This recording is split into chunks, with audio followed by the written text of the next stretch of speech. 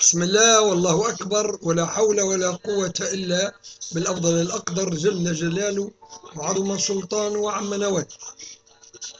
آه السورة هذه يأكد ربي اللي إذا كان ما نتشبثوش بالإيمان الذي أمرنا بمولانا بالله وبرسول الله عليه السلام وبالقرآن وبكل ما فما في هذا الدين اللي هو خاتم الأديان.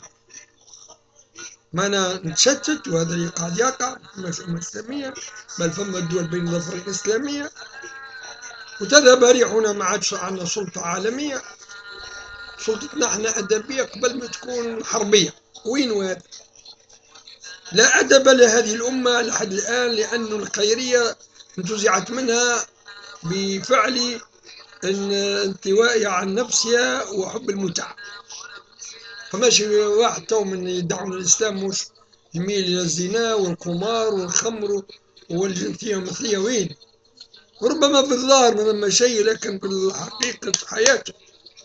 وكيفاش يختفوا حين يقتربون هذه الجرائم أن القبيحة يعني اعطيني وينهم هالمسلمين النظام إلا قلة والحمد لله اللي إحنا في تونس بدأ يبدأ ميزاننا يثقل بفضل الله تعالى.